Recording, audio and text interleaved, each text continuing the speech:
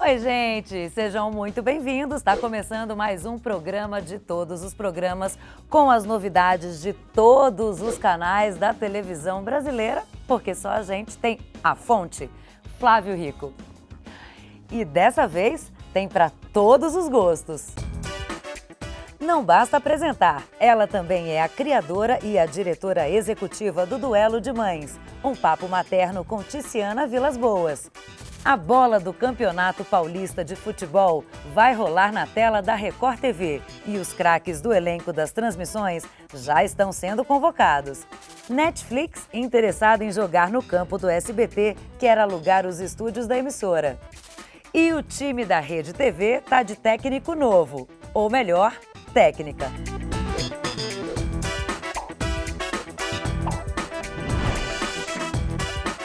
A Rede TV anunciou o retorno da diretora Juliana Alganharás, que trabalhou na Rede TV de 2005 a 2008, além de ter passagem pelo Porta dos Fundos e também pela Endemol. E agora eu já vou perguntar diretamente para o Flávio. Flávio, o que, que esse reencontro significa agora? Ah, então, a Juliana vem com uma experiência muito grande da Endemol, tempo todo que ela trabalhou lá. É uma profissional do mercado, uma profissional respeitada. E a Rede TV estava precisando de alguém para pensar no artístico da Rede TV. Já há algum tempo, a Rede TV não tinha um diretor artístico, não tinha ninguém cuidando desse assunto lá dentro. No passado, passaram por lá o Elias Abrão, o Cacá Marques mais recentemente, teve também quem mais teve lá. Eu sei que passaram algumas pessoas, mas ninguém ficou. E a tentativa de trazer a Juliana agora, uh, entre estes que eu citei, tem o Homero Salles também. E essa tentativa de trazer a Juliana via uma empresa é para a produção de conteúdos produção de conteúdos que podem ser para a própria Rede TV ou até para o mercado. Um estúdio da Rede TV, o maior deles, será disponibilizado para Juliana poder uh, desenvolver os trabalhos dela. A Rede TV está precisando de alguém, está precisando dar uma arrancada. É a única rede de televisão que até agora não se movimentou. E essa tentativa dos seus donos, o Marcelo de Carvalho e o Amilcar Idalevo, deve ser elogiada. A Rede TV pode entrar com a Juliana, pode entrar na briga com Bandeirantes, Record, SBT e Globo. Acho legal essa tentativa, bem positiva. E essa, ela, por ela já ter passado pelo Porta dos Fundos, isso pode ser que a, a Rede TV também está querendo atacar ali para o conteúdo digital?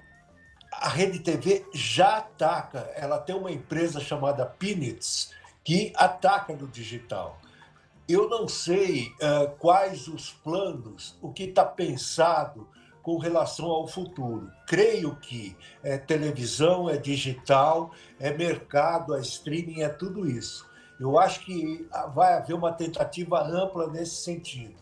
Mas a Juliana está chegando agora, é claro, esses dias conhecendo a casa, vendo como é que tudo funciona e daqui em diante começar a colocar o trabalho em prática. Eu acho que é legal a Rede TV está precisando respirar um oxigênio novo, entendeu? Ela estava com, a, tá com a imagem ainda meio cansada, produtos que estão se arrastando no ar, tem muito concessionário, tem muita coisa vendida lá dentro. Ela precisa ter também uma cara própria.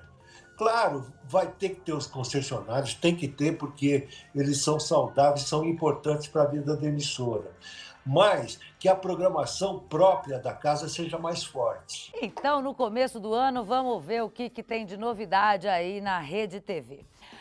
Mas agora vamos falar da gigante do mundo do streaming, a Netflix. É verdade que a Netflix está querendo jogar no campo lá do seu Silvio? É isso mesmo, Flávio?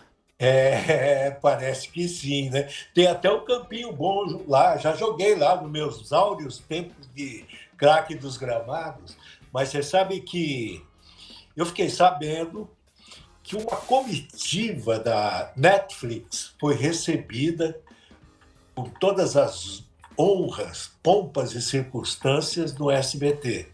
Claro que foi para, para o mercado foi uma visita de cortesia, de sabe, de conhecimento das partes se conhecerem melhor, etc. E tal. Mas por trás de tudo isso, a, a Netflix tem interesse em alugar os estúdios de dramaturgia do SBT, que são estúdios muito bons, muito bons. O 7 e o 8 são os que serviram e servem até agora as novelas do SBT. Só que a Netflix tem uma maneira muito própria de agir, diferente daquela que o SBT coloca em prática. A Netflix tem camarins exclusivos, ela quer, ela quer, ela submete o seu pessoal a exames diários de saúde, ela também usa uh, praças de alimentação própria.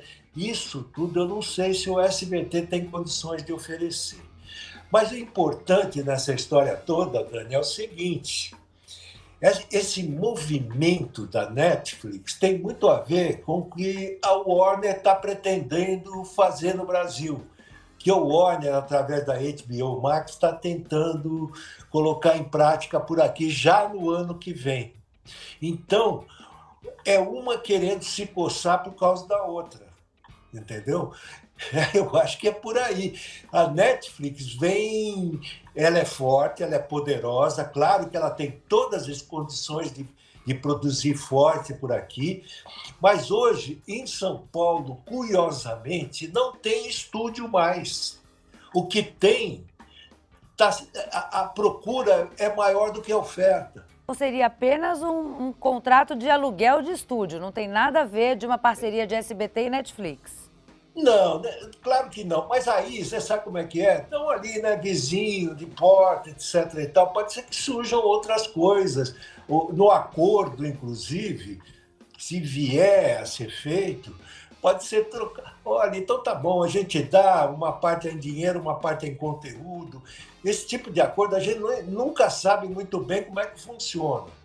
Mas o bom é deixar as duas partes satisfeitas. Numa dessas pode ser que e o Silvio sempre gostou da Netflix, sabe? Ele sempre se manifestou no ar sobre isso, dizendo que ele só assiste Netflix, que ele não vê televisão, que televisão, para quem, quem faz televisão, não, não gosta de assistir televisão. Isso é palavra dele, né? Que ele só assiste Netflix e só assiste mesmo. Então, há aí uma proximidade. Se vai dar um casamento, eu também não sei tá naquele de piscar o olho, entendeu? Aquela paquera meio assim de longe. Numa dessa dá até um casamentozinho aí. E eu vou aproveitar que a gente já está falando de novela e eu vou eu quero saber sobre essa estreia da Record. Bíblia, você pode contar mais um pouquinho pra gente? Vou te contar tudo, vou te contar tudo. Então, dia 23, a Record faz um compilado de Gênesis, os ah. Dez Mandamentos e a terra prometida, até chegar em Reis, até a estreia de Reis. Por que isso? Porque há toda uma sincronia entre essas histórias.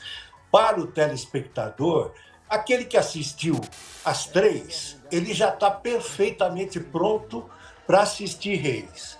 Mas quem não assistiu vai ver um compilado dessas três novelas para o perfeito entendimento de Reis, que também vai ser contado em forma de série, entendeu? Com agilidade de série. Vai ter a mesma produção, a mesma, aquele mesmo requinte de produção que teve em Gênesis agora, e já está em gravação, Reis, só que há o cuidado da Record em preparar o público até a chegada de Reis. Daí a Bíblia. A Bíblia é o título dessas três novelas juntas, né?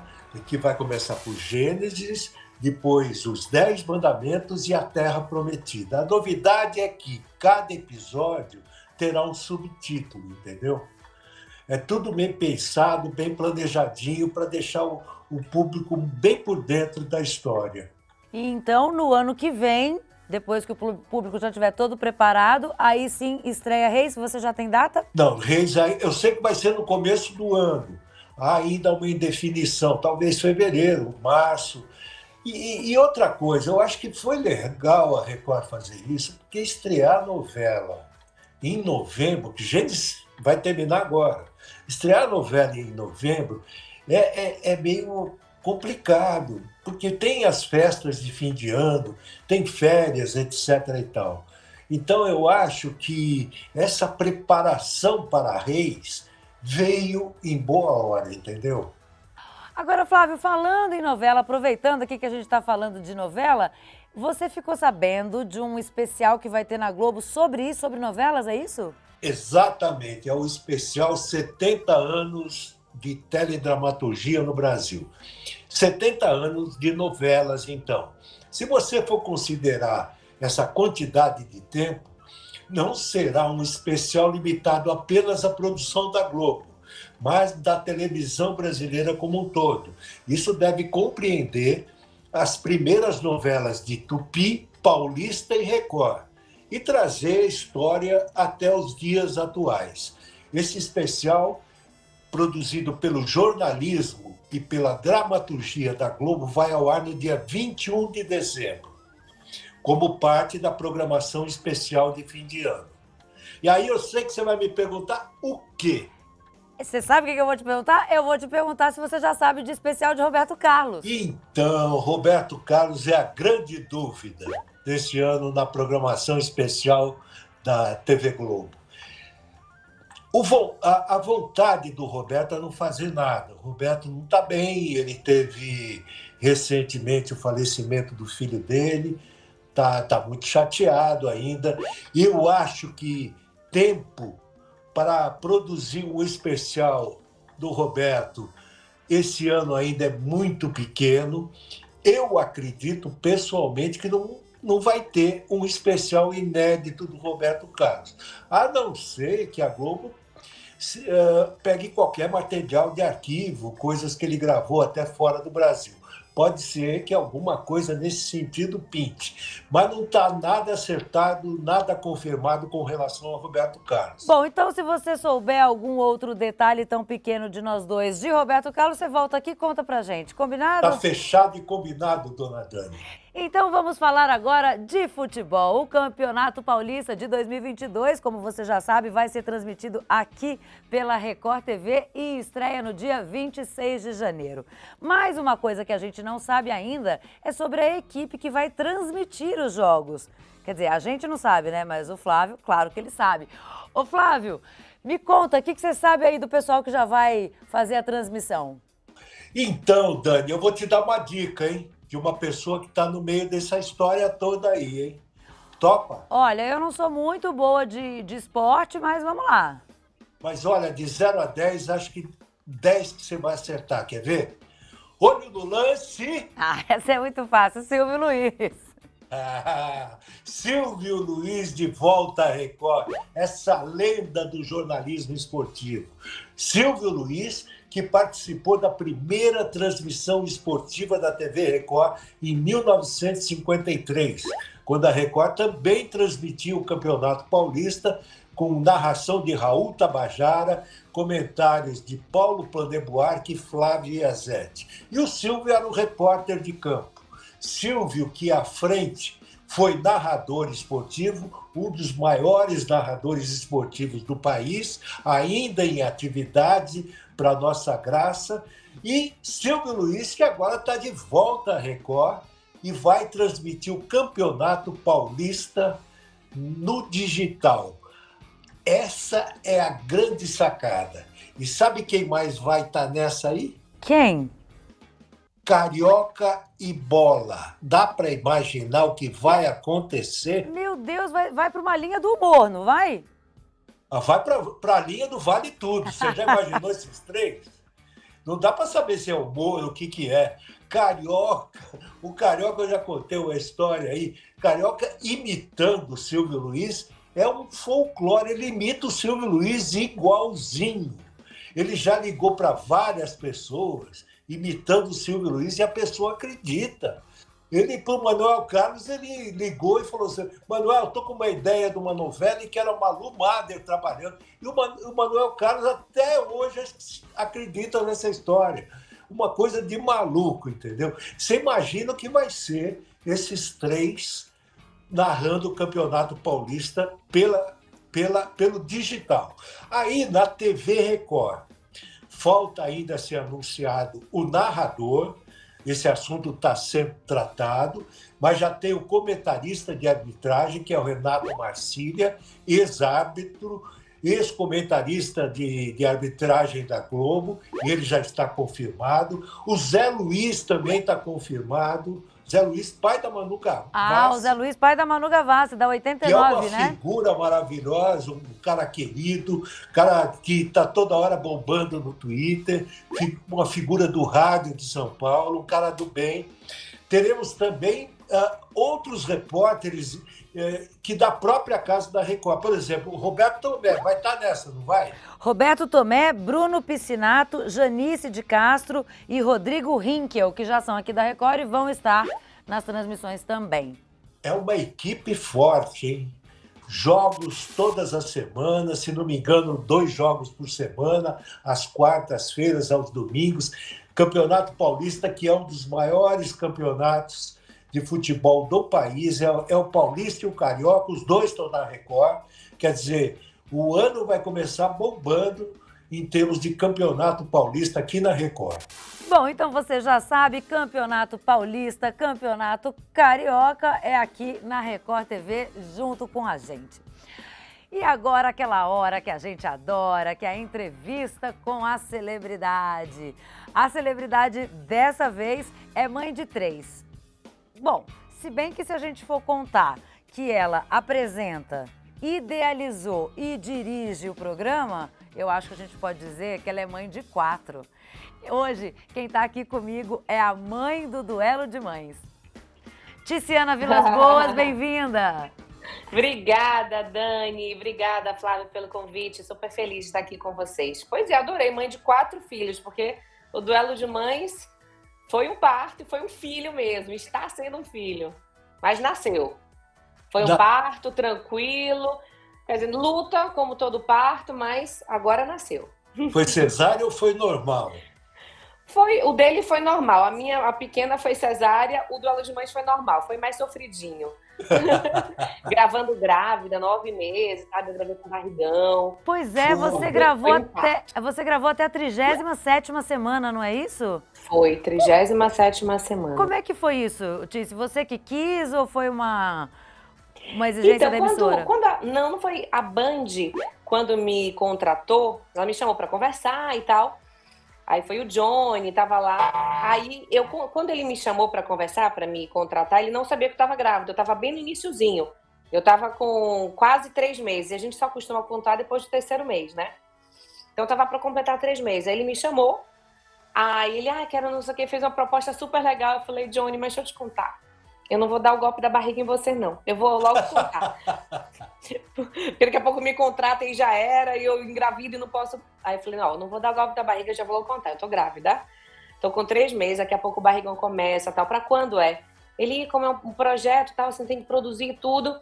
Daqui a uns quatro, três, quatro meses, cinco. Eu falei, nossa, quando eu estiver nascendo. Aí aceitei, falei, vou, vou encarar. Eu já, do, do meu primeiro filho, eu tava no Jornal da Band, ele tem seis anos. Eu apresentei o Jornal da Band, Flávio lembra, ele sabe de toda a minha história, né, Flávio? Ele, eu gravei até, gravei não, que era ao vivo, até nove meses, até barrigão, também 37 semanas, por sinal. Eu falei, ah, já fiz uma vez, vou fazer, vou fazer a segunda. E aí topei falou, não, vou. Disse, eu, eu conheço bem tua história, né? Na televisão, Jornal é. da Band, e você é daquelas que, quando passou pelo jornalismo, botava a mão na massa. Lembro de você lá em Teresópolis, acompanhando a seleção brasileira, indo atrás do, de todo mundo, entrevistando, fazendo, gravando cabeça, off, Foi. editando, etc. e tal. E de, de uma hora para outra você sai do jornalismo e vai para o entretenimento. Pois é. O que o, o jornalismo foi importante para você no entretenimento? Fala para mim. Ah, o jornalismo foi minha grande escola, foi onde eu aprendi, onde eu me lancei, onde eu me consolidei, onde as pessoas conheceram meu trabalho. E eu sou jornalista de alma, continuo sendo jornalista no, na minha alma, assim, no meu coração. Agora, te fiz essa opção porque meu filho tinha acabado, né? Trabalhei até barrigão, ele nasceu. Aí, filho, é, eu não queria mais dar os plantões que eu dava. A gente sabe a vida louca que é, né? Super intensa.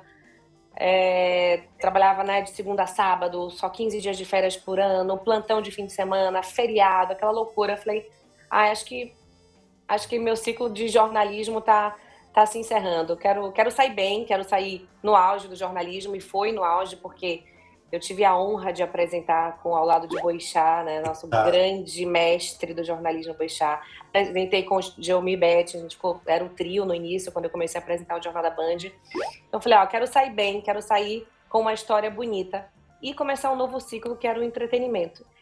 E, e continuei, e aí seguindo o entretenimento e o que eu levo do jornalismo, eu acho que eu gosto de contar histórias, eu gosto de pessoas, eu gosto de ouvir as histórias.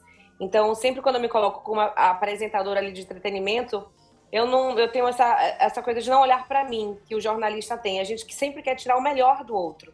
Então, eu, eu, eu sempre quero, desde quando eu apresentei o Bake Off, Duelo de Mães, eu sempre quero o outro, quero ouvir o outro. Eu não tô ali como a estrela. Porque eu acho que eu, eu vejo muita diferença isso, de quem tem a história com, vindo do jornalismo e quem tem a história vindo do entretenimento. Os apresentadores são grandes estrelas. Eu nunca me coloquei e não me considero uma uma estrela. Eu me considero como um ouvinte, como uma ponte para valorizar sempre alguém que eu estou conversando e sempre colocar o outro no primeiro plano. Eu gosto disso como jornalista. Você tocou num assunto que é muito interessante. Muita gente pensa que apresentadora de telejornal é aquela moça que chega na hora na televisão, meia hora antes, se emboneca todo, penteia, faz a maquiagem e aí vai pro ar toda gloriosa apresentar o programa. E não é nada disso. Ave Maria, nem é. Eu ia falar nem para ser, mas também não queria que fosse, não. Aí ia ser muito chato, né? Aí contratariam modelos, né? Contratariam atriz, sei lá, modelos. Mas não, é uma, é uma loucura. Claro que tem, tem vários tipos de apresentador. Tem apresentador que é âncora, que é editor-chefe e tal. No meu caso, eu era editora, era responsável pela, pela editoria de clima e meio ambiente. Então eu fazia o, a, não só a previsão do tempo em si, gravando o mapa, tal, né, a moça do tempo, como cuidava das matérias que fossem relacionadas a clima. E, e a última coisa que eu me preocupava era na maquiagem. Um, camarim, passava no camarim assim, nem ficava um segundo. Camarim de roupa, blá, blá, blá. Tanto que eu fui ligar para essa história de maquiagem, essa história de figurino, tenho figurinista, stylist, quando eu fui para entretenimento. Porque Isso. não era uma coisa que era eu não reparava nisso. Hoje eu reparo. Mas eu lembro que quando eu comecei a apresentar, meu chefe, Fernando Vieira de Mello, mandou eu fazer as unhas e fazer a sobrancelha. Olha que louco. Ou seja, Fernando eu zero. Vieira, Fernando, Vieira de Mello. Vieira de Mello. Quem não sabe, esse foi um dos papas do jornalismo do Brasil. Né?